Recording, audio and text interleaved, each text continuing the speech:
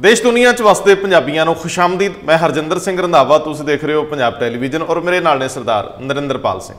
ਸਰਦਾਰ ਸਾਹਿਬ ਜਿਉਂ-ਜਿਉਂ ਬਾਜ਼ਾਰ ਖੁੱਲਣੇ ਸ਼ੁਰੂ ਹੋਏ ਜਿਓ ਸਿਆਸੀ ਦੁਕਾਨਾਂ ਵੀ ਸੱਜਣੀਆਂ ਸ਼ੁਰੂ ਹੋ ਗਈਆਂ। ਹਾਂ ਚਾਹੀਦੀਆਂ ਵੀ ਨੇ ਸੱਜਣੀਆਂ ਚਾਹੀਦੀਆਂ ਨੇ।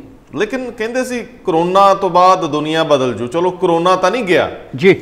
ਕਰੋਨਾ ਤੋਂ ਬਾਅਦ ਦੁਨੀਆ ਬਦਲ ਜੂ। ਬਿਲਕੁਲ। ਪਰ ਇਹ ਜਿਹੜੇ ਸਿਆਸੀ ਬਾਜ਼ਾਰਾਂ ਦੇ ਮਾਲਕ ਆ। ਇਹ ਤੇ ਬਦਲੇ ਹੀ ਨਹੀਂ ਇਹ ਵੀ ਬਦਲਣਗੇ ਫਿਰ ਜੇ ਇਹ ਨਾ ਬਦਲੇ ਤੇ ਫਿਰ ਲੋਕ ਬਦਲਣਗੇ। ਤੇ ਜਿਸ ਹਾਲਾਤ ਦੇ ਵਿੱਚ ਅਸੀਂ ਅੱਜ ਆ ਹਾਂਜੀ। ਉਹਦੇ ਵਿੱਚ ਤਾਂ ਸਗੋਂ ਅਗਲੇ ਨਾਲ ਅੱਗੇ ਨਾਲੋਂ ਵੀ ਇਹ ਥੋੜੇ ਝੱਲੇ ਝੱਲੇ ਨਜ਼ਰ ਆਉਂਦੇ ਗੱਲ ਤੇ ਤੁਹਾਡੀ ਠੀਕ ਹੈ ਲੇਕਿਨ ਜਦੋਂ ਤੁਸੀਂ 2 ਮਹੀਨੇ ਦੇ ਆਰਾਮ ਤੋਂ ਬਾਅਦ ਨਿਕਲੋਗੇ ਤੇ ਘੱਟੋ ਘੱਟ ਆਰਾਮ ਨਾਲ ਲਫ਼ਜ਼ ਵਰਤਾਂ ਵੀ। ਜਦੋਂ 2 ਮਹੀਨੇ ਤੁਸੀਂ ਕੰਨੀ ਕੇਸ ਮਾਰੀ ਹੋਵੇ ਤੇ ਜਦੋਂ ਬਾਹਰ ਨਿਕਲੋਗੇ ਥੋੜਾ ਜਿਹਾ ਸ਼ਰਮ ਵੀ ਹੋਏਗੀ ਤੁਹਾਨੂੰ। ਹੌਲੀ ਹੌਲੀ ਕਦਮ ਵਧਾਓਗੇ ਸੋਸ਼ਲ ਡਿਸਟੈਂਸ ਵੀ ਫੋਲੋ ਕਰੋਗੇ ਲੋਕ ਕਹਿਣਗੇ ਕਿ ਹੁਣ ਸਾਡੇ ਤੇ ਉਹ ਸਾਰੇ ਦੁਕਾਨਦਾਰੀ ਦੇ ਨਿਯਮ ਲਾਗੂ ਹੁੰਦੇ ਨੇ ਜਿਹੜੇ ਕੱਲ ਤੱਕ ਤੁਹਾਡੇ ਤੇ ਨਹੀਂ ਸੀ। ਉਂਝ ਵੈਸੇ ਨਾ ਐਵੇਂ ਹੀ ਅਸੀਂ ਕਾਲੇ ਪੈ ਜੰਨੇ ਆ ਲੈ ਫੜਨੀ ਵੀ ਕੋਈ ਚੀਜ਼ ਹੁੰਦੀ ਆ। ਕਿੰਨੇ ਦਿਨ ਤੁਸੀਂ ਕੋਈ ਕੰਮ ਨਾ ਕਰੋ ਹਾਂ। ਤੇ ਜਦੋਂ ਮੁੜ ਕੇ ਦਿਨਾਂ ਬਾਅਦ ਕਰੋ ਬਿਲਕੁਲ। ਉਪਰਾ ਉਪਰਾ ਲੱਗਦਾ। ਮੈਂ ਕਿਹਾ ਜੀ ਪਾਣੀ ਜਿਹੜਾ 4 ਦਿਨ ਘੜੇ 'ਚ ਰੱਖ ਛੱਡੋ ਹਾਂ। ਤੇ ਉਹਦੇ ਉੱਤੇ ਵੀ ਕਹਿੰਦੇ ਜਾਲਾ ਫਲ ਜਾਂਦਾ। ਤੇ ਜਦੋਂ ਲੈ ਫੜਨੀ ਹੁੰਦੀ ਹੈ ਹਾਂ। ਫਿਰ ਪਹਿਲਾਂ ਦੋ ਚਾਰ ਵਾਰੀ ਆਪਣੇ ਆਪ ਨੂੰ ਵੀ ਅਜੀਬ ਜਿਹਾ ਲੱਗਦਾ ਤੇ ਲੋਕਾਂ ਨੂੰ ਵੀ ਲੱਗਦਾ। ਬਿਲਕੁਲ। ਔਰ ਦੇਖੋ ਸਭ ਤੋਂ ਵੱਡੀ ਗੱਲ ਇਹ ਹੈ ਕਿ ਜਦੋਂ ਲੋਕਾਂ ਨੂੰ ਤੁਹਾਡੀ ਲੋੜ ਸੀ ਉਦੋਂ ਤੁਸੀਂ ਆਪਣੇ ਆਪ ਨੂੰ ਪੂਰੀ ਤਰ੍ਹਾਂ ਜਾਬਤੇ ਵਿੱਚ ਕਰ ਲਿਆ। ਨਹੀਂ ਬਣਦਾ ਵੀ ਸੀ ਸਰਦਾਰ ਜੀ ਜਾਨ ਹੈ ਜਹਾਨ ਹੈ ਕਮਾਲ ਕਰ ਜੇ ਜਾਨ ਰਹੂ ਤੇ ਰਾਜ ਰਹਿਣਗੇ। ਜੀ। ਜੇ ਜਾਨ ਹੀ ਨਾ ਰਹੀ ਤੁਹਾਡਾ ਕੀ ਮਤਲਬ? ਕੀ ਮਤਲਬ ਕੀ ਤੁਹਾਡਾ ਸਰਦਾਰ ਸਾਹਿਬ। ਇਹ ਲੋਕ। ਜਿਹੜੇ ਲੋਕ ਆਪਣੇ ਰਾਜ ਲਈ ਆਪਣੀ ਜਾਨ ਤੱਕ ਲਾ ਦਿੰਦੇ ਆ। ਉਹ ਤੁਹਾਡੇ ਲਈ ਜਾਨ ਗਵਾ ਦਿੰਦੇ। ਜੇ ਖੁਦਾ ਨਾ ਖਾਸਤਾ ਕਿਸੇ ਨੂੰ ਕਰੋਨਾ ਫੜ ਲੈਂਦਾ ਜੀ। ਤੇ ਫਿਰ ਤੁਸੀਂ ਦੇਖਿਆ ਕੋਈ ਅੱਜ ਤੱਕ ਸਾਡੇ ਲੀਡਰ ਦੀ ਕੋਈ ਖਬਰ ਆਈ? ਕਿਸੇ ਨੂੰ ਕਰੋਨਾ ਹੋ ਗਿਆ। ਕਿੰਨੀ ਇhtiyat ਵਰ ਕਿੰਨੇ ਸਿਆਣੇ ਨੇ। ਕਿੰਨੇ ਡਿਸਪਲਿਨ ਨੇ। ਜੀ। ਸਰਕਾਰ ਜੋ ਕਹਿੰਦੀ ਡਾਕਟਰ ਜੋ ਕਹਿੰਦੇ ਦੁਨੀਆ ਜੋ ਕਹਿੰਦੀ ਮੰਨਦੇ ਨੇ। ਜੀ। ਹਰਾਮ ਬੰਦੇ ਨੂੰ ਹੋਇਆ। ਰੰਧਾਵਾ ਸਾਹਿਬ ਜਿਹੜਾ ਸੋਸ਼ਲ ਡਿਸਟੈਂਸ ਇਹਨਾਂ ਨੇ ਹੁਣ ਕਿਹਾ ਸਰਕਾਰਾਂ ਨੇ ਇਹ ਤੇ ਸਿਆਸਤਦਾਨ ਤੇ ਜਿੱਦਨ ਅਹੁਦੇ ਤੇ ਆ ਜਾਂਦੇ ਨੇ, ਜਦੋਂ ਸੱਤਾ ਜਾਂਦੇ ਉਦੋਂ ਨਹੀਂ ਕਰ ਲੈਂਦੇ ਨਹੀਂ ਤੁਹਾਡਾ ਮਤਲਬ ਲੋਕਾਂ ਨੂੰ ਮਿਲਦੇ ਹੀ ਨਹੀਂ। ਓਨੀ ਓਨੀ ਦੂਰੋਂ। ਹੱਥ ਵੀ ਇੰਨਾ ਕੀ ਉਂਗਲਾਂ ਦੋ। ਹੱਥ ਨਹੀਂ। ਧਿਆਨ ਕਿਸੇ ਪਾਸੇ ਹੁੰਦਾ ਤੇ ਉਂਗਲਾਂ ਦੋ ਇੱਧਰ ਹੁੰਦੀਆਂ ਤੇ ਹੱਥ ਦੀ ਬਹੁਤ ਵੱਡੀ ਡੈਫੀਨੇਸ਼ਨ ਹੈ। ਹੱਥ ਦੀ ਡੈਫੀਨੇਸ਼ਨ ਪੂਰੀ ਆ। ਤੇ ਬੰਦਾ ਵੀ ਸੋਚਦਾ ਹੈ ਕਿ ਯਾਰ ਇਹ ਉਹੀ ਬੰਦਾ ਸੀ ਜਿਹੜਾ ਸਾਡੀ ਗਲੀ ਦੇ ਵਿੱਚ ਦੋਵੇਂ ਹੱਥ ਜੋੜ ਕੇ ਕਹਿੰਦਾ ਸੀ ਇਸ ਵਾਰੀ ਇੱਜ਼ਤ ਰੱਖ ਲੋ ਬਿਲਕੁਲ। ਇਦਾਂ ਹੀ ਹੁੰਦਾ ਨਾ। ਬਿਲਕੁਲ ਸਹੀ ਗੱਲ ਦੋਨੇ ਹੱਥ ਜੋੜਨੇ ਹੁੰਦੇ ਇਹ ਗੱਲ 'ਚ ਕੱਪੜਾ ਪਾਇਆ ਹੁੰਦਾ ਫਿਰ ਨਾਲ ਚਾਰ ਪੰਜ ਜਿਹੜੇ ਚੇਲੇ ਚਾਪਟੇ ਨੇ ਬਾਲਕੇ ਨੇ ਉਹ ਲੋਕ ਬਦੋ ਬਦੀ ਉਹ ਲੋਕਾਂ ਦੇ ਬੱਚਿਆਂ ਦੇ ਸਿਰਾਂ ਤੇ ਪਿਆਰ ਦਿੰਦੇ ਜਾਂਦੇ ਨੇ। ਜਿਹੜੀਆਂ 80 80 85 85 ਸਾਲਾਂ ਦੀਆਂ ਬਜ਼ੁਰਗ ਮਾਵਾਂ ਔਰਤਾਂ ਹੁੰਦੀਆਂ ਜੀ। ਉਹ ਭਾਵੇਂ ਮਿੱਟੀ ਘੱਟੇ ਨਾਲ ਲਿਬੜੀਆਂ ਹੋਣ। ਹਾਂ। ਝਾੜੂ ਪੂੰਜਾ ਕਰਦਿਆਂ ਵੀ ਭਾਵੇਂ। ਉਹਨਾਂ ਨੂੰ ਜੱਫੀਆਂ ਪਾਉਣ ਤੱਕ ਜਾਂਦੇ ਪੈਰੀਂ ਹੱਥ ਲਾਉਣ ਤੱਕ ਜਾਂਦੇ। ਕਹੇ ਜੀ ਖਬਰ ਛਪਤੀ ਹੁੰਦੀ ਸਵੇਰੇ ਕਿ ਫਲਾਣੇ ਲੀਡਰ ਨੇ ਫਲਾਣੇ ਗਰੀਬ ਦੇ ਘਰ ਜਾ ਕੇ ਦਲੀਆ ਖਾਦਾ ਭਾਵੇਂ ਘਰੋਂ ਖੜ ਕੇ ਖਾ ਲੇ। ਉਹ ਤੇ ਬਾਅਦ ਚ ਪਤਾ ਲੱਗਦਾ ਵੀ ਕਿਹੜੇ ਹੋਟਲ ਤੋਂ ਆਇਆ ਸੀ। ਅੱਛਾ ਅੱਛਾ। ਖੈਰ ਅਸੀਂ ਹੱਸਦੇ ਨਹੀਂ ਜੀ। ਆਪਣੇ ਆਪ ਤੇ ਹੱਸਦੇ ਆ। ਅਸੀਂ ਕੌਣ ਆ ਇਹਨਾਂ ਲੋਕਾਂ ਤੇ ਹੱਸਣ ਵਾਲੇ? ਕਿਉਂਕਿ ਇਹ ਤਾਂ ਕਿੰਨੀ ਦੇਰ ਦੇ ਸਾਡੇ ਤੇ ਹੱਸਦੇ ਆ। ਉਹ ਮਹਿਲਾਂ 'ਚ ਬੈਠੇ ਸੋਚਦੇ ਆ ਕਿੱਡੇ ਕਮਲੇ ਆ। ਵੋਟਾਂ ਪਾ ਕੇ ਬਾਅਦ 'ਚ ਪੁੱਛਦੇ ਹੀ ਨਹੀਂ ਕਾਦੇ ਲਈ ਪਾਈਆਂ। ਗੱਲ ਇਹ ਹੈ ਰੰਦਾਵਾ ਸਾਹਿਬ ਲੋਕ ਕਮਲੇ ਨਹੀਂ ਐ। ਤੁਸੀਂ ਆਪਣੇ ਸ਼ਹਿਰ ਤੋਂ ਸ਼ੁਰੂ ਕਰੋ ਜਿਹੜੇ ਸ਼ਹਿਰ ਤੁਹਾਡੇ ਸ਼ਹਿਰ ਜਿਹੜੇ ਮੁਹੱਲ ਨੇ ਨਾ ਪਹਿਲਾਂ ਉਹਨਾਂ ਮੁਹੱਲਾਂ ਤੋਂ ਝੱਲ ਮਾਰਨੀ ਸ਼ੁਰੂ ਗੱਲ ਕਰੋ ਸੁਣੋ ਮੈਨੂੰ ਮੈਨੂੰ ਤੰਗ ਨਾ ਕਰੋ। ਮੈਨੂੰ ਤੰਗ ਨਾ ਕਰੋ। ਜੀ। ਦੇਖੋ ਦੋਸਤੋ ਕਈ ਵਾਰੀ ਗਲਤੀਆਂ ਹੋ ਜਾਂਦੀਆਂ ਇਨਸਾਨ ਤੋਂ ਹੁੰਦੀਆਂ ਲੇਕਿਨ ਅਸੀਂ ਗਲਤੀ ਨਹੀਂ ਕੀਤੀ। ਅਸੀਂ ਨਵਜੋਤ ਸਿੰਘ ਤੁਹਾਡਾ ਮਤਲਬ ਉਹੀ ਆ ਜਿਹੜਾ ਤੁਸੀਂ ਆਫ ਦਾ ਰਿਕਾਰਡ ਆਖੀ ਜਾਂਦੇ ਸੀ। ਕਰ ਲੋ ਹੋਰ ਸਿੱਧੂ ਦੀਆਂ ਸਿਫਤਾਂ। ਜੀ। ਦੇਖੋ ਤੁਹਾਡਾ ਤਰਕ ਬਹੁਤ ਜਾਇਜ਼ ਆ। ਜੀ। ਨਵਜੋਤ ਸਿੰਘ ਸਿੱਧੂ ਨੂੰ ਅਸੀਂ ਪੰਜਾਬ ਦੀ ਇੱਕ ਆਸ ਵਜੋਂ ਵੇਖ ਕੇ ਚੱਲਦੇ ਰਹੇ। ਮੈਂ ਹਰ ਉਸ ਸ਼ਖਸ ਨੂੰ ਜਿਸ ਨੇ ਪੰਜਾਬ ਦੇ ਲਈ ਲਫ਼ਜ਼ ਸਿਰਫ ਇੱਕ ਆ ਪੰਜਾਬ ਪੰਜਾਬ ਲਈ ਪੰਜਾਬ ਦੇ ਹਿੱਤਾਂ ਲਈ ਪੰਜਾਬ ਦੇ ਲੋਕਾਂ ਲਈ ਥੋੜੀ ਜੀ ਸੁਹਿਰਦਤਾ ਨਾਲ ਵੀ ਦੋ ਕਦਮ ਅੱਗੇ ਵਧਾਏ ਨੇ। ਅਸੀਂ ਉਹਨਾਂ ਨੂੰ ਕਿਤੇ ਨਾ ਕਿਤੇ ਚੰਗੇ ਸ਼ਬਦਾਂ ਦੇ ਨਾਲ ਸੰਬੋਧਨ ਵੇਖ ਲੇਕਿਨ ਜਦੋਂ ਅਸੀਂ ਨਵਜੋਤ ਸਿੰਘ ਸਿੱਧੂ ਨੂੰ ਸ਼ਾਬਾਸ਼ ਦਿੰਦੇ। ਰਹੇ ਉਹਦਾ ਜ਼ਿਕਰ ਛੇੜਦੇ ਰਹੇ। ਉਹਦੀ ਲੜਾਈ ਨੂੰ ਠੀਕ ਦਿਸ਼ਾ 'ਚ ਜਾਂਦੀ ਦੱਸਦੇ ਸੀ। ਪੰਜਾਬ ਦੇ ਹੱਕਾਂ ਲਈ ਖਲੋਣ ਵਾਲਾ ਦੱਸਦੇ ਸੀ। ਉਸ ਦਿਨ ਨਵਜੋਤ ਸਿੰਘ ਸਿੱਧੂ ਦੀ ਸੁਹਿਰਦਤਾ ਇਮਾਨਦਾਰੀ ਸਾਹਮਣੇ ਰੱਖ ਕੇ ਕਹਿੰਦੇ ਸੀ ਬਿਲਕੁਲ ਅੱਜ ਵੀ ਅਸੀਂ ਉਹਦੀ ਇੱਜ਼ਤ ਤੇ ਉਹਦੀ ਤਾਰੀਫ ਕਰਦੇ ਆ ਉਹਦੀ। ਓਨੈਸਟੀ ਦਾ ਦਮ ਭਰਨ ਦਾ ਜਿਹੜਾ ਮਾਦਾ ਹੈ। ਉਹਦੀ ਕਦਰ ਕਰਦੇ ਆ ਲੇਕਿਨ ਸਾਡਾ ਫਰਜ਼ ਵੀ ਇਹੋ ਹੀ ਬਣਦਾ ਕਿ ਜਿਹੜਾ ਵੀ ਮੈਂ ਪਹਿਲਾਂ ਵੀ ਲਫ਼ਜ਼ ਕਿਹਾ ਜਿਹੜਾ ਵੀ ਕੋਈ ਸ਼ਖਸ ਘੱਟੋ ਘੱਟ ਇਸ ਖਿੱਤੇ ਦੀ ਸੋਚਦਾ ਹੋਵੇ ਕਿਉਂਕਿ ਸਾਡਾ ਜੰਮਣ ਮਰਨ ਜਿਹੜਾ ਆ ਇਸ ਧਰਤ ਦੇ ਨਾਲ ਜੁੜਿਆ ਹੋਇਆ। ਲੇਕਿਨ ਜਦੋਂ ਸਾਡਾ ਹੁਣ ਮਰਨ ਹੋ ਗਿਆ ਹਾਂ। ਜਦੋਂ ਸਾਡਾ ਮਰਨ ਹੋ ਗਿਆ ਅਸੀਂ ਆ ਔਖੇ ਸਾਹ ਲੈ ਲਏ ਆ ਔਰ ਦੋ ਉਦੋਂ- ਮਹੀਨਿਆਂ 'ਚ। ਅੱਛਾ ਸਹਿਮਤ ਹੋਵੋਗੇ? ਮੈਨੂੰ ਤੁਹਾਡੀ ਗੱਲ ਨਾਲ ਮੈਂ ਤਾਂ ਮੁਤਫਿਕ ਹੋਏ ਬਿਨਾਂ ਰਹਿ ਹੀ ਨਹੀਂ ਸਕਿਆ। ਕਿ ਅਸੀਂ ਨਵਜੋਤ ਸਿੰਘ ਸਿੱਧੂ ਤੋਂ ਇਸ ਤਰ੍ਹਾਂ ਦੀ ਉਮੀਦ ਨਹੀਂ ਕਰਦੇ ਕਿ ਉਹ ਆਪਣੇ ਕਮਰੇ ਦਾ ਦਰਵਾਜ਼ਾ ਖੋਲੇ। ਜੀ। ਤੇ ਕੈਮਰਾ ਉਹਨੂੰ ਫੜੇ। ਜੀ। ਉਹ ਆਪਣੀ ਬਾਲਕੋਨੀ ਤੋਂ ਹੁੰਦਾ ਹੋਇਆ ਥੱਲੇ ਬਾਏ ਬਾਏ ਟਾਏ ਟਾਏ ਕਰਦਾ ਆਵੇ। ਜੀ। ਮਹਾਰਾਜਾ ਵਾਂਗ ਐਕਟ ਕਰੇ। ਜੀ। ਗੱਲ ਇਹ ਨਹੀਂ ਕਿ ਉਹ ਉਹਦੀ ਪਰਸਨਲ ਲਾਈਫ ਜੋ ਮਰਜ਼ੀ ਕਰੇ। ਬਿਲਕੁਲ ਸਹੀ ਗੱਲ। ਲੇਕਿਨ ਮੈਨੂੰ ਇਹ ਨਹੀਂ ਸਮਝ ਆਈ ਕਿ ਜਿਸ ਨਵਜੋਤ ਸਿੰਘ ਸਿੱਧੂ ਨੇ ਜ਼ਮੀਨ ਤੇ ਯੁੱਧ ਲੜਨਾ ਹੈ ਜੀ। ਉਹਨੂੰ ਆਖਰ ਇੰਨੀਆਂ ਛੋਟੀਆਂ-ਛੋਟੀਆਂ ਚੀਜ਼ਾਂ ਤੱਕ ਸੀਮਤ ਹੋਣ ਲਈ ਕਿਹਨੇ ਕਿਹਾ? ਨਵਜੋਤ ਸਿੰਘ ਸਿੱਧੂ ਦਾ ਸਲਾਹਕਾਰ ਕੌਣ ਹੈ? ਕਿਹੜਾ ਉਹਦੀ ਇੱਥੇ ਇਮੇਜ ਜਿਹੜੀ ਸੀ ਇੱਥੇ ਛਵੀ ਸੀ ਉਹਦੀ ਬਾਡੀ ਲੈਂਗੁਏਜ ਬਣਾਉਣ ਜੇ ਉਹਦੀ ਆਪਣੀ ਸੋਚ ਹੈ। ਜਿਵੇਂ ਉਹਦੀ ਬਾਡੀ ਲੈਂਗੁਏਜ ਜਿਵੇਂ ਉਹਦੇ ਤੁਰਨ ਦਾ ਸਟਾਈਲ ਆ। ਜਿਸ ਤਰੀਕੇ ਨਾਲ ਦੂਜੇ ਲੋਕ ਹੱਥ ਜੋੜ ਕੇ ਖਲੋਤੇ ਹੁੰਦੇ ਆ ਉਹ ਹਾਂਜੀ ਵਾਜਾਂ ਮਾਰ ਕਈ ਕਹਾਣੀਆਂ ਕਿਸੇ ਮੈਂ ਉਹਨਾਂ ਤੱਕ ਨਹੀਂ ਜਾਂਦਾ ਜੀ ਲੋਕ ਸੁਹਿਰਦਤਾ ਚਾਹੁੰਦੇ ਆ ਲੋਕ ਕਹਾਣੀਆਂ ਨਹੀਂ ਚਾਹੁੰਦੇ ਲੋਕ ਸਾਨੂੰ ਅਸੀਂ ਕੌਣ ਆ ਸਾਨੂੰ ਕੀ ਸਮਝਦੇ। ਆ ਕੁਝ ਨਹੀਂ ਲੇਕਿਨ ਸਵਾਲ ਇਹ ਆ ਸਵਾਲ ਇਹ ਆ ਕਿ ਸਰਦਾਰ ਸਾਹਿਬ ਜਦੋਂ ਪੰਜਾਬ ਇਸ ਵੇਲੇ ਇੱਕ ਐਸੇ ਆਗੂ ਦੀ ਮੰਗ ਕਰਦਾ ਹੈ। ਜਿਹੜਾ ਸੈਲਫਲੈਸ ਹੋਵੇ। ਜਿਹਨੂੰ ਆਪਣਾ ਕੁਝ ਨਾ ਹੋਵੇ ਜੀ ਅਸੀਂ ਨਹੀਂ ਕਹਿੰਦੇ ਉਹ ਫਕੀਰ ਹੋਵੇ ਉਹਦੇ ਨਿੱਜੀ ਜ਼ਿੰਦਗੀ ਹੋਵੇ। ਨਹੀਂ ਆਪਣਾ ਕਾਰੋਬਾਰ ਕਰੇ ਆਪਣੀ ਰੋਜੀ ਰੋਟੀ ਦਾ ਉਹਦੇ ਕੋਲ ਪ੍ਰਬੰਧ ਹੋਵੇ। ਲੇਕਿਨ ਜਿਹੜਾ ਸਾਹਮਣੇ ਉਹ ਅਗਵਾਈ ਦੇ ਕੇ ਹਾਂ। ਨਿੱਕੀ ਤੋਂ ਨਿੱਕੀ ਬਰੀਕੀ ਆਮ ਜਨ ਸਧਾਰਨ ਤੋਂ ਲੈ ਕੇ ਇਥੋਂ ਦੇ ਬਿਜ਼ਨਸਮੈਨ ਤੱਕ ਜੀ। ਇਥੋਂ ਦੇ ਸਧਾਰਨ ਮੁਲਾਜ਼ਮ ਤੋਂ ਲੈ ਕੇ ਚੀਫ ਸੈਕਟਰੀ ਤੱਕ ਲਈ ਪਲੈਨਿੰਗ ਰੱਖਦਾ ਹੋਵੇ। ਹਰ ਨੀਤੀ ਤੇ ਫੋਕਸ ਕਰਦਾ ਹੋਵੇ। ਉਹਨੂੰ ਜ਼ਰੂਰਤ ਨਹੀਂ ਕਿ ਉਹ ਸੋਫੇ ਦੇ ਉੱਤੇ ਲੱਤ ਤੇ ਲੱਤ ਚੜਾ ਕੇ ਭਾਵੇਂ ਅਗਲੇ ਬੰਨੇ ਨਾਲ ਬਜ਼ੁਰਗ ਬੈਠਾ ਹੈ ਉਹਦੇ ਵੱਲ ਪੈਰ ਕਰਕੇ ਪੈਰ ਹਿਲਾਈ ਜਾਵੇ ਬਿਨਾਂ ਜੁੱਤੀ ਲਾਇਆ ਇਹ ਕੋਈ ਐਟੀਟਿਊਡ ਨਹੀਂ ਹੁੰਦਾ ਇਹ ਜੋ ਤੁਸੀਂ ਕਰ ਰਹੇ ਹੁੰਦੇ ਹੋ ਇਹਦੇ ਇਹ ਰਿਫਲੈਕਟ ਕਰਦਾ ਹੈ ਕਿ ਤੁਸੀਂ ਕਿਸ ਤਰ੍ਹਾਂ ਦੀ ਫਿਊਚਰ ਦੀ ਵਿਉਂਤਬੰਦੀ ਕਰ ਰਹੇ ਹੋ। ਗੱਲਾਂ ਅੱਗੇ ਗੱਲਾਂ ਵਾਲੇ ਬੜੇ ਹੋਏ। ਗੱਲਾਂ ਵਾਲੇ ਬਹੁਤ ਹੋਏ ਕੋਈ ਜਿਹੜਾ ਵੀ ਬੰਦਾ ਆਇਆ ਸਾਨੂੰ ਸਿਰਫ ਗੱਲਾਂ ਸੁਣਾ ਕੇ ਲੈ ਗਿਆ। ਔਰ ਉਸ ਤੋਂ ਬਾਅਦ ਇਸ ਰਾਜ ਦੇ ਵਿੱਚ ਕਰਜ਼ੇ ਦੀ ਜਿਹੜੀ ਜਿਹੜੀ ਕਿਸ਼ਤ ਸੀ ਮੋਟੀ ਹੁੰਦੀ ਗਈ। ਮੋਟੀ ਹੁੰਦੀ। ਉਸ ਤੋਂ ਇਲਾਵਾ ਤੇ ਕੁਝ ਨਹੀਂ ਮਿਲਿਆ। ਨਾ, ਨਹੀਂ। ਨਵਜੋਤ ਸਿੰਘ ਸਿੱਧੂ ਤੇ ਇੱਕ ਬੜਾ ਸੁਹਿਰਦ ਬੰਦਾ ਸੀ ਉਹ ਸਵਾਲ ਪੁੱਛਿਆ। ਉਹ ਮੈਨੂੰ ਕਹਿੰਦਾ ਅਸੀਂ ਉਦੋਂ ਮੰਨਦੇ ਨਹੀਂ ਸੀ ਇਹਨਾਂ ਗੱਲਾਂ ਨੂੰ ਕਿ ਚਲੋ ਕੋਈ ਬੰਦਾ ਜਿਹੜਾ ਬੰਦਾ ਇਹ ਦਮ ਭਰਦਾ ਹੈ। ਉਹਨੇ ਮੈਨੂੰ ਇੱਕ ਅਸੀਂ ਇਸ ਕਰਕੇ ਸਿਫਤ ਕਰਦੇ ਸੀ। ਔਰ ਉਸ ਬੰਦੇ ਦਾ ਮੈਂ ਹੁਣ ਨਾਂ ਲਵਾਂਗਾ ਚੰਗਾ ਨਹੀਂ ਲੱਗੂਗਾ। ਸਿਆਸੀ ਬੰਦਾ ਹੈ ਉਹਨੇ ਨਹੀਂ ਲੜਾ ਵੀ ਨਹੀਂ ਚਾਹੀਦਾ। ਉਹਨੇ ਮੈਨੂੰ ਫੋਨ ਕਰਕੇ ਕਿਹਾ ਜੀ। ਜੇ ਕੋਈ ਆਫ ਦਾ ਰਿਕਾਰਡ ਮੇਰੇ ਤੋਂ ਪੁੱਛੂ ਮੈਂ ਦੱਸ ਦੂੰ। ਜੀ। ਮੈਨੂੰ ਇਹ ਫੋਨ ਕਰਕੇ ਕਿਹਾ ਕਿ ਤੁਸੀਂ ਜਿਹਦੀ ਜਿਹਦਾ ਇੰਨਾ ਬੰਨਦੇ ਹੋ ਜੀ। ਉਸ ਬੰਦੇ ਨੂੰ ਉਹਦੇ ਕਾਰਜਕਾਲ ਦੇ ਦੌਰਾਨ ਦਾ ਕੋਈ ਕੰਮ ਪੁੱਛੋ। ਜੀ। ਕਿ ਜਿਸ ਸਮੇਂ 'ਚ ਉਹ ਜਿਸ ਅਹੁਦੇ ਤੇ ਸੀ ਜੀ। ਸਿਆਸੀ ਅਹੁਦੇ ਤੇ। ਜੀ। ਕਿ ਜੇ ਡੇਢ ਸਾਲ ਵਜ਼ੀਰੀ ਮਿਲੀ ਸਥਾਨਕ ਸਰਕਾਰਾਂ ਮੰਤਰਾਲਾ ਮਿਲਿਆ। ਤੇ ਉਸ ਸਥਾਨਕ ਸਰਕਾਰਾਂ ਮੰਤਰਾਲੇ 'ਚ ਜਿਹੜੇ ਕੰਮ 'ਚ ਮੁੱਖ ਮੰਤਰੀ ਦਖਲ ਦੇ ਕੇ ਰੋਕਦਾ ਨਹੀਂ ਸੀ ਉਹ ਕਿੰਨੇ ਕਰਨ ਵਾਲੇ ਸੀ? ਜੀ। ਨਵਜੋਤ ਸਿੰਘ ਸਿੱਧੂ ਉਹ ਕੰਮ ਗਣਾ ਦੇ ਵੀ ਮੈਂ ਆ ਆ ਕੀਤੇ। ਜੀ। ਸੋ ਪੰਜਾਬ ਦੇ ਲੋਕ ਹੁਣ ਪ੍ਰੈਕਟਿਸ ਚਾਹੁੰਦੇ ਆ ਕਿ ਉਹ ਬੰਦਾ ਜਿਹੜਾ ਕੰਮ ਕਰਕੇ ਸੂਬੇ ਦੀ ਦਿਸ਼ਾ ਤੇ ਦਸ਼ਾ ਬਦਲੇ। ਜੀ। ਸੋ ਤੁਹਾਡਾ ਜਾਇਜ਼ਾ ਗਿਲਾ ਕਿ ਨਵਜੋਤ ਸਿੰਘ ਸਿੱਧੂ ਦੇ ਐਕਟ ਨੂੰ ਲੈ ਕੇ ਜੀ। ਥੋੜਾ ਜਿਹਾ ਆਬਜੈਕਟ ਕਰ ਰਹੇ ਆ ਲੋਕ। ਦੇਖੋ ਕਾਰਨ ਬੜਾ ਸਾਫ਼ ਹੈ ਕਿ ਜਦੋਂ ਨਵਜੋਤ ਸਿੰਘ ਸਿੱਧੂ ਅੰਮ੍ਰਿਤਸਰ ਚ ਆਉਂਦਾ ਜੀ। ਅਸੀਂ ਪਹਿਲਾਂ ਵੀ ਜ਼ਿਕਰ ਕਰ ਚੁੱਕੇ ਇਸ ਬਾਰੇ ਕਿ ਉਹ ਇੱਕ ਇਹ ਜ਼ਰੂਰ ਕਹਿੰਦਾ ਕਿ ਮੈਂ ਆਪਣਾ ਪਟਿਆਲਾ ਛੱਡਿਆ ਤੇ ਮੈਂ ਅੱਜ ਤੋਂ ਅੰਮ੍ਰਿਤਸਰ ਦਾ ਹੋ ਗਿਆ। ਉਹਦੇ ਤੋਂ ਬਾਅਦ ਵਕਤ ਐਸਾ ਵੀ ਆ ਜਾਂਦਾ ਕਿ ਉਹ ਪੰਜਾਬ ਦੇ ਸਿਆਸਤ ਦੇ ਵਿੱਚ ਉੱਭਰਦਾ ਹੈ।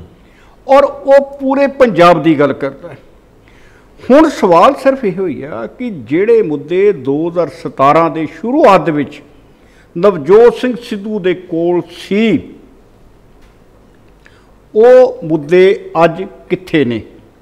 ਕਿਉਂਕਿ ਜੋ ਕੁਝ ਮੌਜੂਦਾ ਹਾਲਾਤ ਹੈ ਜੋ ਪੰਜਾਬ ਦੀ ਸਿਆਸਤ ਜਿੱਧਰ ਨੂੰ ਘੁੰਮ ਰਹੀ ਆ ਜਿਸ ਤਰ੍ਹਾਂ ਪੰਜਾਬ ਦੇ ਸਕੱਤਰੇਤ ਦੇ ਵਿੱਚ ਪੰਜਾਬ ਦੇ ਮੰਤਰੀ ਮੰਡਲ ਦੇ ਵਿੱਚ ਇੱਕ ਹੋ ਹੱਲਾ ਮਚਿਆ ਹੋਇਆ ਕਿ ਆ ਨਹੀਂ ਹੋ ਰਿਹਾ ਆ ਨਹੀਂ ਹੋ ਰਿਹਾ ਆ ਨਹੀਂ ਹੋ ਰਿਹਾ।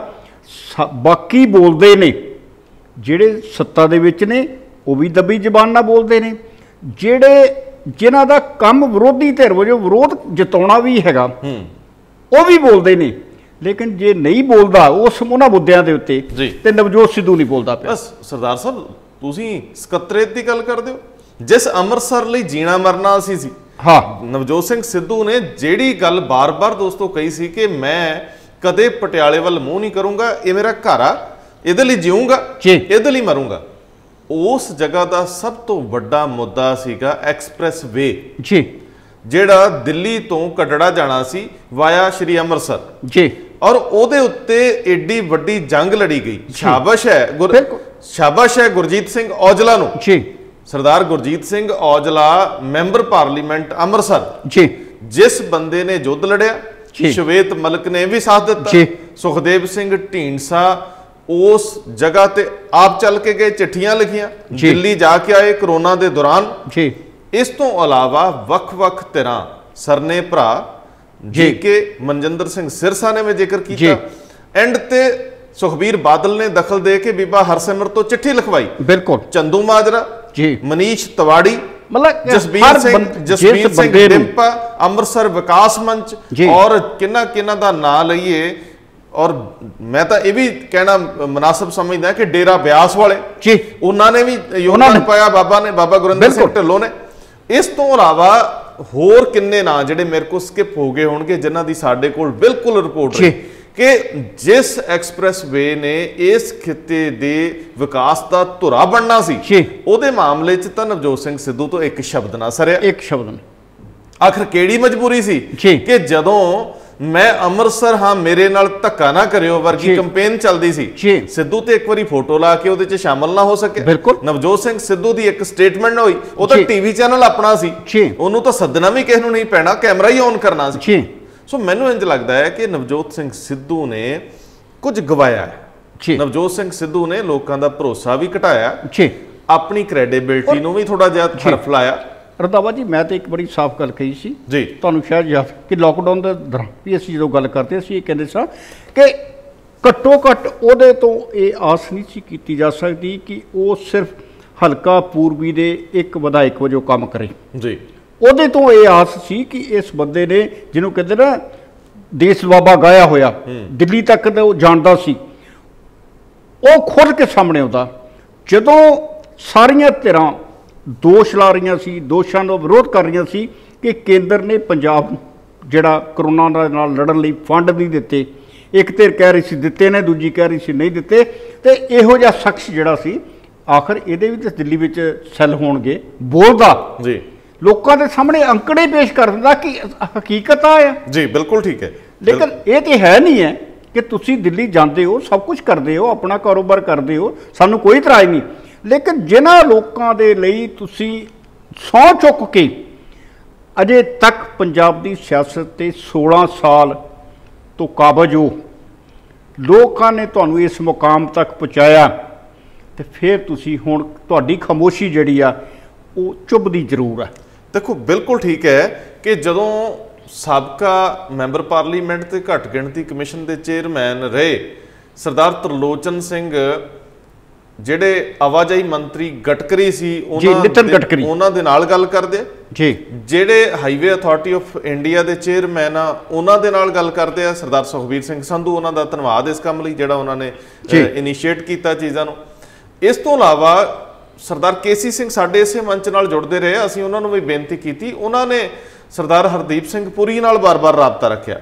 ਸਰਦਾਰ ਹਰਦੀਪ ਸਿੰਘ ਪੁਰੀ ਨੇ ਇਹਦੇ ਵਿੱਚ ਬੜਾ ਵੱਡਾ ਰੋਲ ਪਲੇ ਕੀਤਾ ਹਾਂ। ਸਵਾਲ ਹੈ ਕਿ ਕਿੰਨੀਆਂ ਧਿਰਾਂ ਜਿਨ੍ਹਾਂ ਨੇ ਰੱਜ ਕੇ ਯੁੱਧ ਲੜਿਆ।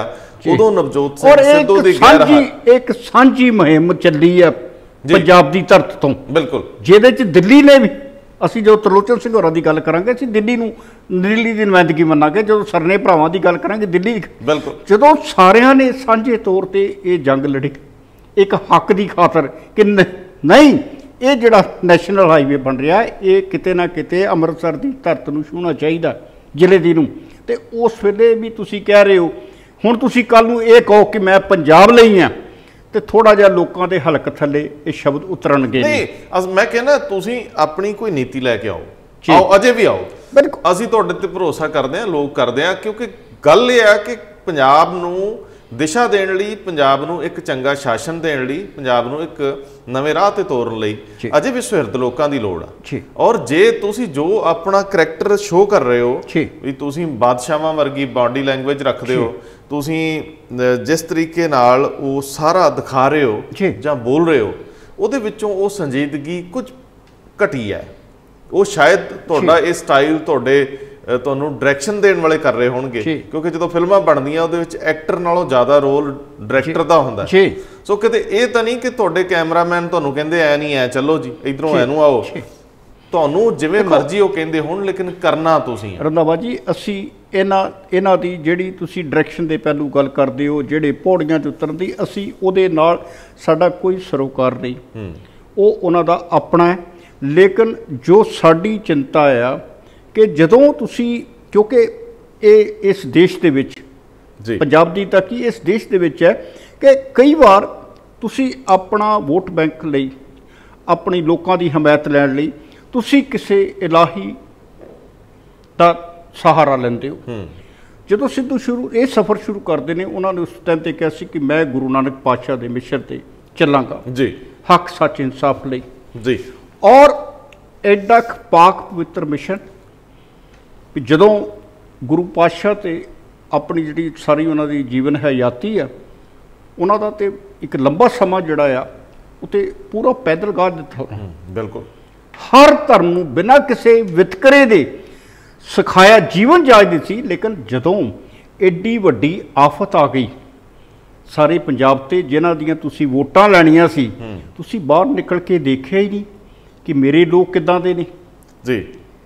ਹੁਣ ਹੁਣ ਜ- ਹੁਣ ਜਦੋਂ ਲਾਕਡਾਊਨ ਖੁੱਲਿਆ ਹੁਣ ਥੋੜੀ ਜਿਹੀ ਨਹੀਂ ਦੇਖੋ ਜਿਹਨੂੰ ਜੀਵਨ ਸਰਕਿਆ। ਨਹੀਂ ਸਰਦਾਰ ਸਾਹਿਬ ਉਹ ਜਿਹੜੀ ਜਿਹੜੀ ਘਟਨਾਕ੍ਰਮ ਚੱਲਦੀ ਰਹੀ ਨਾ ਜਿਹੜੀ ਨਕਲੋ ਹਰਕਤ ਨਜ਼ਰ ਆਉਂਦੀ ਸੀ। ਉਹ ਤਾਂ ਸਰਕਾਰੀ ਅਨਾਜ ਜਾਂ ਆਪਣੇ ਦੋਸਤਾਂ ਮਿੱਤਰਾਂ ਕੋਲ ਲੈ ਕੇ ਵੰਡਣ ਦੀ ਜਿਹੜੀ ਪ੍ਰਕਿਰਿਆ ਸੀ ਉਹ ਚੱਲਦੀ ਰਹੀ।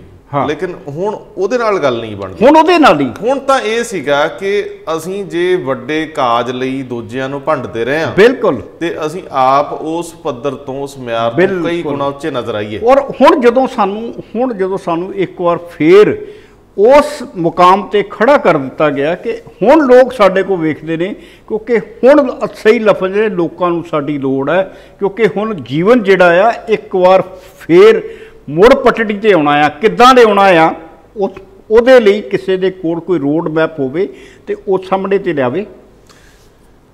ਦੋਸਤੋ, ਇਸ ਤੋਂ ਅੱਗੇ ਜੇ ਤੁਰੀਏ, ਇਹ ਤਾਂ ਦੇਖੋ ਨਵਜੋਤ ਸਿੰਘ ਸਿੱਧੂ ਦਾ ਆਪਣਾ ਵਿਊ ਪੁਆਇੰਟ ਉਹਨਾਂ ਦਾ ਨਜ਼ਰੀਆ, ਉਹਨਾਂ ਨੇ ਕਿਵੇਂ ਸਿਆਸਤ ਕਰਨੀ ਆ, ਅਸੀਂ ਕੌਣ ਹੁੰਨੇ ਆ? ਲੇਕਿਨ ਕਈ ਵਾਰੀ ਕੀ ਹੁੰਦਾ, ਤੁਸੀਂ ਕਿਸੇ ਤੋਂ ਵੱਧ ਉਮੀਦ ਰੱਖਦੇ ਹੋ ਤੇ ਤੁਹਾਨੂੰ ਬਾਅਦ ਦੇ ਵਿੱਚ ਨਿਰਾਸ਼ਾ ਹੁੰਦੀ ਹੈ। ਉਸ ਨਿਰਾਸ਼ਾ ਦੇ ਵਿੱਚੋਂ ਨਿਕਲੀ ਹੋਈ ਸਾਡੀ ਇਹ ਜਿਹੜੀ ਗੱਲਬਾਤ ਹੈ, ਉਹ ਸੀਗੀ ਕਿ ਆਖਰ ਨਵਜੋਤ ਸਿੰਘ ਸਿੱਧੂ ਨੇ ਇਸ ਦਿਸ਼ਾ ਇਹ ਇਸ ਪੰਜਾਬ ਲਈ ਜੋ ਕਰਨ ਦਾ ਬੀੜਾ ਚੁੱਕਿਆ ਸੀ ਉਹ ਕਿਤੇ ਅਧਵਾਟੇ ਨਾ ਦਮ ਤੋੜ ਜਾਏ ਕਿਉਂਕਿ ਅਸੀਂ ਹਰੇਕ ਉਸ ਜਿਵੇਂ ਸਰਦਾਰ ਸਾਹਿਬ ਨੇ ਕਿਹਾ ਹਰੇਕ ਉਸ ਸੁਹਿਰਦ ਇਨਸਾਨ ਦੇ ਯਤਨਾਂ ਦੇ ਸਮਰਥਕ ਆ ਜਿਹੜਾ ਪੰਜਾਬ ਲਈ ਚੰਗਾ ਸੋਚਦਾ ਹੈ। ਸੁਖਪਾਲ ਸਿੰਘ ਖਹਿਰਾ ਦੀ ਸਰਗਰਮੀ ਜੀ। ਤੁਸੀਂ ਨੋਟ ਕੀਤੀ ਹੋਊਗੀ। ਜੀ। ਉਹ ਵੀ ਆਪਣੀ ਸਿਆਸੀ ਜ਼ਮੀਨ ਤਲਾਸ਼ਣ ਦੇ ਯਤਨ ਕਰ ਰਿਹਾ ਬਿਲਕੁਲ। ਸੁਖਪਾਲ ਸਿੰਘ ਖਹਿਰਾ ਦੇ ਜਿਹੜੇ ਤੌਰ ਤਰੀਕੇ ਆ। ਉਹੀ ਰਵਾਇਤੀ ਸ਼ੁਰੂ ਹੋ ਗਏ। ਜੀ। ਅੱਗੇ ਇੱਕ ਵਾਰੀ ਉਹਨਾਂ ਨੇ ਰਾਣੇ ਗੁਰਜੀਤ ਦੀ ਬਲੀ ਲੈ ਲਈ ਸੀ। ਬਿਲਕੁਲ। ਰਾਣਾ ਗੁਰਜੀਤ ਬਿਜਲੀ ਮੰਤਰੀ ਸੀ। ਬਿਲਕੁਲ। ਤੇ ਉਹਨਾਂ ਨੇ ਵਾਪਸ ਉਹਨਾਂ ਨੂੰ ਜਲੰਧਰ ਕਪੂਰਥਲੇ ਲੈਂਦਾ ਜੀ। ਇਹ ਯੁੱਧ ਪਰਿਵਾਰ ਇਹ ਜੋਧੋ ਖਿੱਤੇ ਦਾ ਯੁੱਧ ਆ ਦੁਆਬੇ ਦੇ ਜੀ। ਸੈਂਟਰ ਦਾ। ਜੀ। ਹੁਣ ਫੇਰ ਕੱਲ ਸ਼ੁਰੂ ਹੋ ਗਏ। ਹੁਣ ਫਿਰ ਤੋਂ ਫਿਰ ਸ਼ੁਰੂ ਹੋ ਗਏ ਨੇ। ਹੁਣ ਮੈਨੂੰ ਨਹੀਂ ਸਮਝ ਆਈ ਕਿ ਸੁਖਬਾਲ ਸਿੰਘ ਖਹਿਰਾ ਉਹਨਾਂ ਨੇ ਦੇਖ ਲਿਆ ਕਿ ਸਟੇਟ ਦੀ ਰਾਜਨੀਤੀ ਹਾਂ। ਘਰੋਂ ਤੁਰਦੀ। ਬਿਲਕੁਲ। ਜਦੋਂ ਤੁਸੀਂ ਘਰੋਂ ਮਜ਼ਬੂਤ ਹੁੰਨੇ ਹੋ ਫਿਰ ਤੁਸੀਂ ਸਟੇਟ ਦੀ ਰਾਜਨੀਤੀ 'ਚ ਆਪਣਾ ਕਦਮ ਜਿੱਦਾਂ ਬੈਂਸ ਆ ਭਰਾ ਆਪਣਾ ਹਿੱਸਾ ਬਣਾਉਣ ਤੁਰ ਪੈਂਦੇ ਆ। ਕਿਉਂਕਿ ਉਹਨਾਂ ਲੋਕ ਸਮਝਦੇ ਆ ਕਿ ਇਹਨਾਂ ਦਾ ਲੁਧਿਆਣੇ 'ਚ ਆਧਾਰ ਆ। ਬਿਲਕੁਲ। ਲੁਧਿਆਣੇ 'ਚੋਂ ਸਾਨੂੰ ਸਪੋਰਟ ਮਿਲੂ। ਬੈਂਸ ਨੂੰ ਅਦਰਵਾਈਜ਼ ਕੋਈ ਨਾ ਸ਼ਾਇਦ ਜਾ ਕੇ ਨੌਕ ਕਰੇ। ਜੇਕਰ ਬੈਂਸ ਕੋਲ 2 3 4 ਕਨਸਟੀਟੂਐਂਸੀ ਦੇ ਵਿੱਚ ਮੈਜੋਰਟੀ ਵੋਟ ਨਾ ਹੋਵੇ। ਸੋ ਇਸ ਕਰਕੇ ਖੈਰੇ ਨੂੰ ਸ਼ਾਇਦ ਇਹ ਗੱਲ ਸਮਝ ਆਈ ਹੋਊਗੀ ਕਿ ਪਹਿਲਾਂ ਘਰ ਤਗੜਾ ਕਰੀਏ। ਨਹੀਂ ਹੁਣ ਲੁਧਿਆਣਾ ਜਿਹੜੇ ਆਪਣੇ ਤੁਹਾਡੇ ਹੈਗੇ ਨੇ ਅ, ਖਹਿਰਾ ਸਾਹਿਬ ਹਾਂ। ਉਹਨਾਂ ਨੇ ਕੁਝ ਦਿਨਾਂ ਤੋਂ ਇੱਕ ਆਵਾਜ਼ ਉਠਾਈ ਸੀ।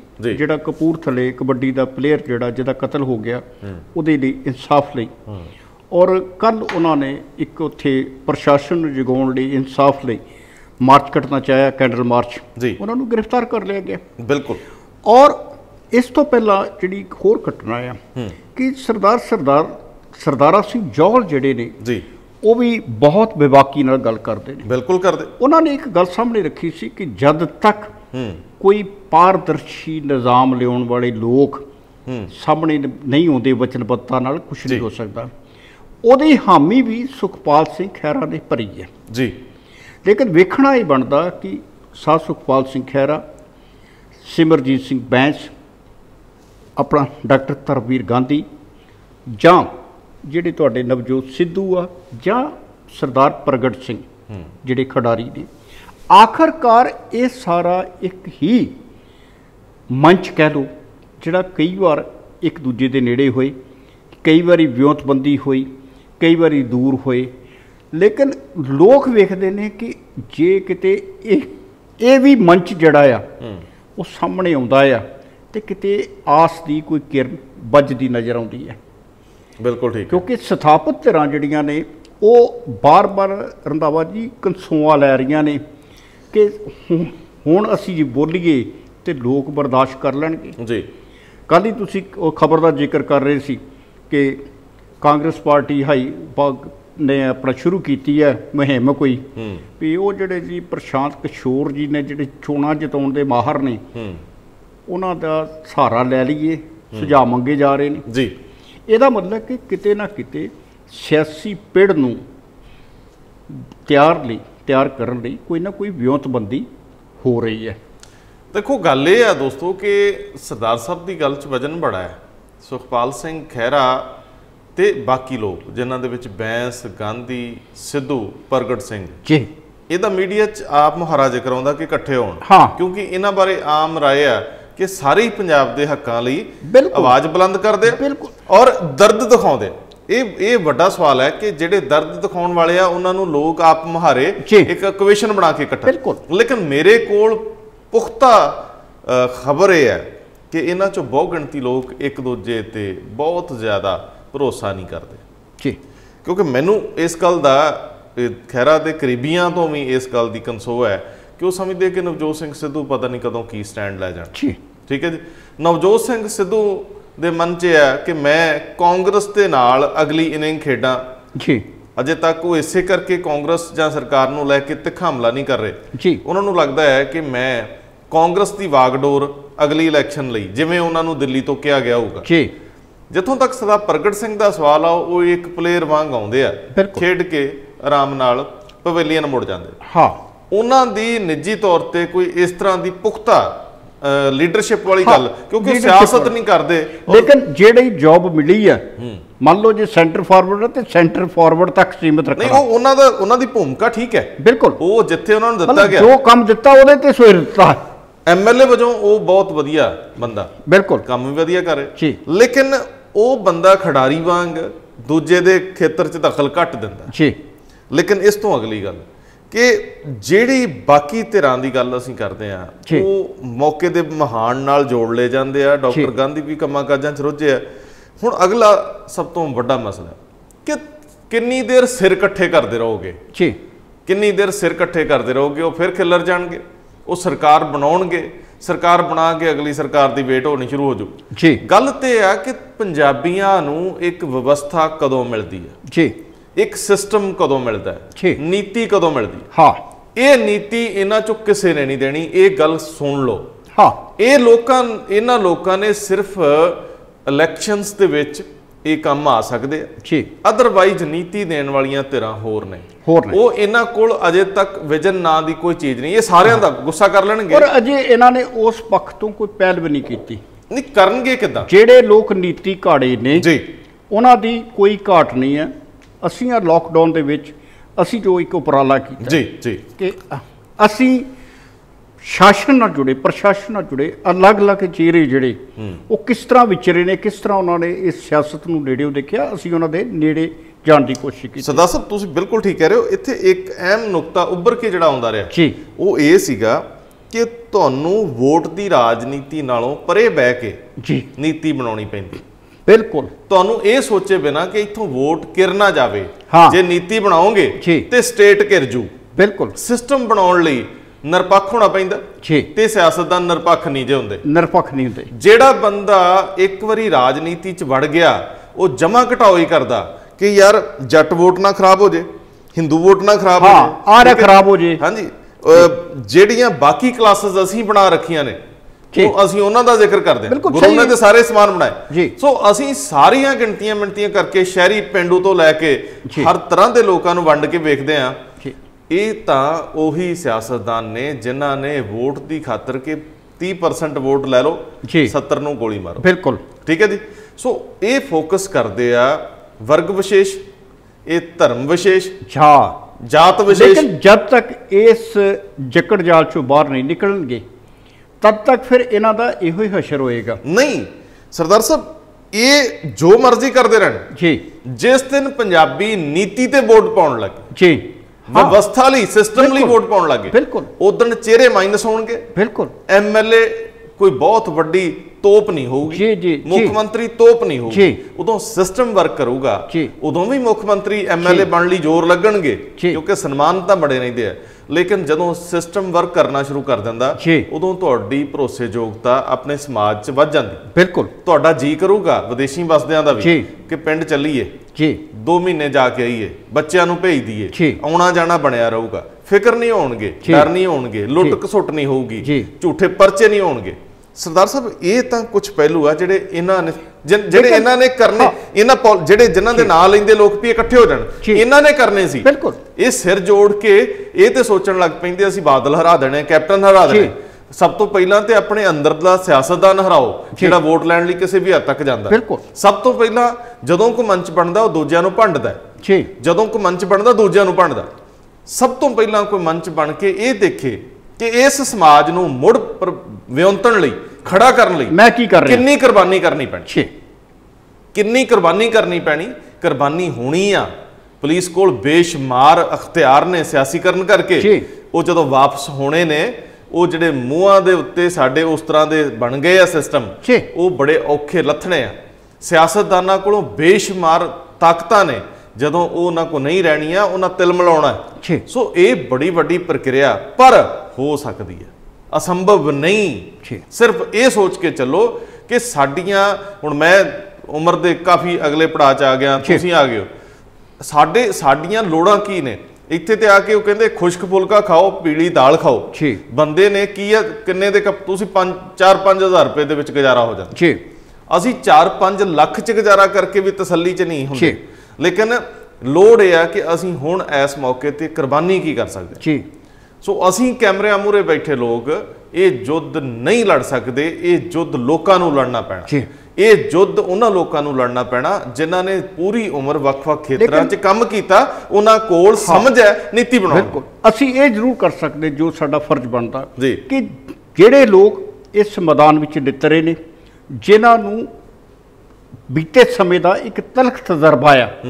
ਅਸੀਂ ਤੁਹਾਡੇ ਸਾਹਮਣੇ ਉਹ ਤੱਥ ਲਿਆ ਕੇ ਜ਼ਰੂਰ ਰੱਖੀਏ ਕਿ ਇਸ ਪਰਦੇ ਦੇ ਪਿੱਛੇ ਇਸ ਤਰ੍ਹਾਂ ਵੀ ਵਾਪਰਦਾ ਜੀ। ਜੀ। ਅੱਜ ਜੋ ਕੁਝ ਜਦੋਂ ਦਾ ਇਹ ਮੁੱਖ ਸਕੱਤਰ ਕਰਨ ਅਵਤਾਰ ਸਿੰਘ ਹੋਰਾਂ ਦਾ ਮੁੱਦਾ ਸਾਹਮਣੇ ਆਇਆ। ਦੇਖੋ ਲੋਕ ਤਨਜ ਕਰਦੇ ਸੀ। ਕਹਿੰਦੇ ਕਿ ਸ਼ੇਰ ਪੜਦੇ ਹੁੰਦੇ ਸੀ ਨਸ਼ਾ ਸ਼ਰਾਬ ਮੇ ਹੋਤਾ ਤਾਂ ਬੋਤਲ ਨਾਚਤੀ ਹੋਤੀ। ਕਹਿੰਦੇ ਵੀ ਅਜੇ ਤੇ ਗੱਲ ਸ਼ੁਰੂ ਹੋਈ ਹੈ ਤੇ ਲੀਡਰ ਲੜਖੜਾਉਣ ਲੱਗ ਪਏ ਨੇ ਸਿਆਸਤ ਲੜਖੜਾਉਣ ਲੱਗ ਪਈ ਹੈ ਤੇ ਹੋਰ ਕਿ ਨਸ਼ਾ ਕੀ ਹੁੰਦਾ? ਲੋਕ ਤਨਜ ਕਰਦੇ ਸੀ। ਕਿਤੇ ਨਾ ਕਿਤੇ ਇਹ ਜਿਹੜਾ ਇੱਕ ਪਹਿਲੂ ਦੋ ਸਟੇਟਾਂ ਦਾ ਸਾਹਮਣੇ ਆਇਆ। ਇੱਕ ਸਟੇਟ ਉਹ ਜਿਹੜੀ 28 ਸਾਲ ਦੀ ਉਮਰ 'ਚ ਭਰਤੀ ਹੁੰਦੀ ਹੈ 30 ਸਾਲ ਦੀ ਉਮਰ 'ਚ ਭਰਤੀ ਹੁੰਦੀ ਹੈ 58 ਸਾਲ 'ਚ ਰਿਟਾਇਰ ਹੁੰਦੀ ਹੈ। 20 ਸਾਲ ਦੋ ਦਹਾਕੇ ਤੁਹਾਡੇ ਉੱਤੇ ਇੱਕ ਨੀਤੀ ਬਣਾ ਕੇ ਬੈਠਦੀ ਹੈ ਔਰ ਉਸੇ ਲਾਈਨ ਨੂੰ ਤੁਰਦੀ ਰਹਿੰਦੀ ਹੈ। ਇੱਕ ਸਟੇਟ ਉਹ ਜਿਹੜੀ 5 ਸਾਲ ਦੀ ਆਉਂਦੀ ਹੈ ਕੋਈ 10 ਸਾਲ ਦੀ ਆਉਂਦੀ ਕੋਈ 2.5 ਸਾਲ ਬਾਅਦ ਹੀ ਤੁਰ ਜਾਂਦੀ ਹੈ। ਜੀ।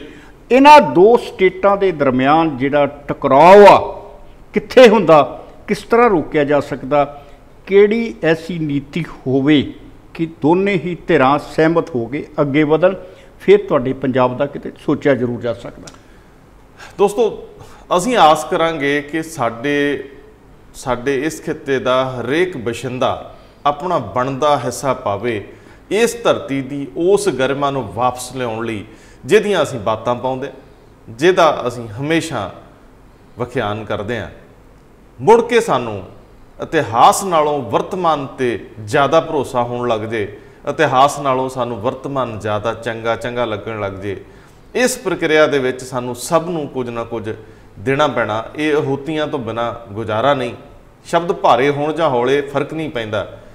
ਗੱਲ ਜਜ਼ਬੇ ਦੀ ਆ ਗੱਲ ਕਰਮ ਦੀ ਆ ਲੇਕਿਨ ਆਖਰੀ ਆਖਰੀ ਲਫ਼ਜ਼ ਇਹ ਕਹਿ ਕੇ ਅਸੀਂ ਨਵਜੋਤ ਸਿੰਘ ਸਿੱਧੂ ਸਮੇਤ ਉਹਨਾਂ ਸਾਰੇ ਲੋਕਾਂ, ਸੁਖਪਾਲ ਸਿੰਘ ਖਹਿਰਾ ਸਮੇਤ ਉਹਨਾਂ ਸਾਰੇ ਲੋਕਾਂ ਦੇ ਕਦਰਦਾਨ ਹੈ, ਅਸੀਂ ਉਹਨਾਂ ਦੀ ਇੱਜ਼ਤ ਕਰਦੇ ਆ ਜਿਹੜੇ ਇਸ ਸਟੇਟ ਲਈ ਸੁਹਿਰਦਤਾ ਨਾਲ ਕੰਮ ਕਰਦੇ ਆ। ਲੇਕਿਨ ਨਵਜੋਤ ਸਿੰਘ ਸਿੱਧੂ ਤੋਂ ਮਾਫੀ ਇਸ ਲਈ ਕਿ ਅਸੀਂ ਉਹਨਾਂ ਦੇ ਸਟਾਈਲ ਤੇ ਉਹਨਾਂ ਦੇ ਸਟਾਈਲ ਦੇ ਉੱਤੇ ਆਲੋਚਨਾ ਕੀਤੀ ਆ ਇਹ ਵੀ ਉਸਾਰੂ ਆਲੋਚਨਾ ਹੈ। ਅਸੀਂ ਚਾਹੁੰਦੇ ਆ ਕਿ ਉਹ ਵਧਨ ਫੁੱਲਣ। ਲੇਕਿਨ ਉਹ ਪੰਜਾਬ ਦੇ ਹਿੱਤ ਵਿੱਚ ਜਿਸ ਤਰ੍ਹਾਂ ਦਾ ਇਮੇਜ ਲੈ ਕੇ ਆਏ ਜੀ। ਉਹਦੇ ਉੱਤੇ ਮੁੜ ਕੇ ਗੌਰ ਕਰਨ ਉਹ ਡਾਇਰੈਕਸ਼ਨ ਦੇ ਤਹਿਤ ਕੰਮ ਨਾ ਕਰਨ ਉਹ ਵਿਵੇਕ ਤੇ ਕੰਮ ਕਰਨ ਜਿਸ ਵਿਵੇਕ ਲਈ ਉਹ ਜਾਣੇ ਆ ਕਿ ਸਾਨੂੰ ਦਿਨ ਦੇ ਦੌਰਾਨ ਸੁਪਨੇ ਨਾ ਦਿਖਾਏ ਜਾਣ। ਜੀ। ਸਿਆਸਤਦਾਨ ਉਹ ਸੁਪਨੇ ਲੈਣ ਜਿਹੜੇ ਉਹਨਾਂ ਨੂੰ ਵੀ ਸੌਣ ਨਾ ਦੇਣ। ਹਾਂ ਇਹ ਡਾਕਟਰ ਅਬਦੁਲ ਕਲਾਮ ਦੀਆਂ ਇਹ ਗੱਲਾਂ ਵਾਕਈ। ਅਹਿਮ ਨੇ ਕਿ ਇਹ ਸੁਪਨਾ ਜਿਹੜਾ ਨਾ ਜੀ ਉਹ ਸੌਂਦਿਆਂ ਨਹੀਂ ਆਉਣਾ ਚਾਹੀਦਾ। ਸੁਪਨਾ ਹੋਣਾ ਚਾਹੀਦਾ ਜਿਹੜਾ ਸੌਣ ਨਾ ਦੇ। ਆਖਰ ਉਹ ਇਸ ਦੇਸ਼ ਦੇ ਰਾਸ਼ਟਰਪਤੀ ਰਹੇ ਸਾਇੰਸਦਾਨ ਰਹੇ ਤੇ ਜਦੋਂ ਅੰਤਲੇ ਸਮੇਂ ਬਾਅਦ ਉਹਨਾਂ ਦੇ ਘਰ ਦੇਖਿਆ ਗਿਆ ਤੇ ਚਾਰ ਵਰਦੀਆਂ ਇੱਕ ਵਿਗਿਆਨਕ ਵਜੋਂ ਇਸ ਤੋਂ ਵੱਡੀ ਜਾਇਦਾਦ ਕੀ ਹੋ ਸਕਦੀ ਕਿਸੇ ਦੀ? ਇਹ ਇਹ ਬਹੁਤ ਵੱਡੀ ਜਾਇਦਾਦ। ਇਹਨੂੰ ਕਹਿੰਦੇ ਆ ਬੌਧਿਕ ਜਾਇਦਾਦ। ਬਿਲਕੁਲ। ਜਦੋਂ ਕਿਤਾਬਾਂ ਦੇ ਹਾਂ। ਬੰਡਲ ਜਦੋਂ ਤੁਸੀਂ ਡਾਕਟਰ ਰਜਿੰਦਰ ਪ੍ਰਸਾਦ ਦੀ ਗੱਲ ਕਰਦੇ ਸੀ ਤਾਂ ਤੁਸੀਂ ਟੀਚਰ ਡੇ ਮਨਾਉਂਦੇ ਸੀ। ਜੀ ਜੀ ਜੀ ਜੀ। ਇੱਕ ਬਾਰ ਕਲਾਮ ਸਾਹਿਬ ਆਏ ਵਿਗਿਆਨਿਕ ਨੇ। ਸੋ ਇਹ ਕਿਤੇ ਨਾ ਕਿਤੇ ਪ੍ਰਾਪਤੀਆਂ ਨੇ ਜਿਹੜੀਆਂ ਇਹਨਾਂ ਸਿਆਸਤਦਾਨਾਂ ਨੂੰ ਇੱਕ ਦਿਸ਼ਾ ਦਿੰਦੀਆਂ ਨੇ ਸੰਕੇਤ ਦਿੰਦੀਆਂ ਨੇ ਕਿ ਇਸ ਮੁਕਾਮ ਤੱਕ ਜਾਣ ਲਈ ਇਹ ਰਾਹ ਅਖਤਿਆਰ ਕਰਨਾ ਪਏਗਾ। ਵਾਕਈ ਉਹ ਆਦਰਸ਼ ਲੋਕ ਉਹ ਕਰਮਯੋਗੀ ਜਿਹੜੇ ਆਖਰੀ ਸਾਹਾਂ ਤੱਕ ਕਰਮ ਕਰਦੇ ਰਹੇ। ਬਹੁਤ ਮਿਹਰਬਾਨੀ ਬਹੁਤ ਧੰਨਵਾਦ।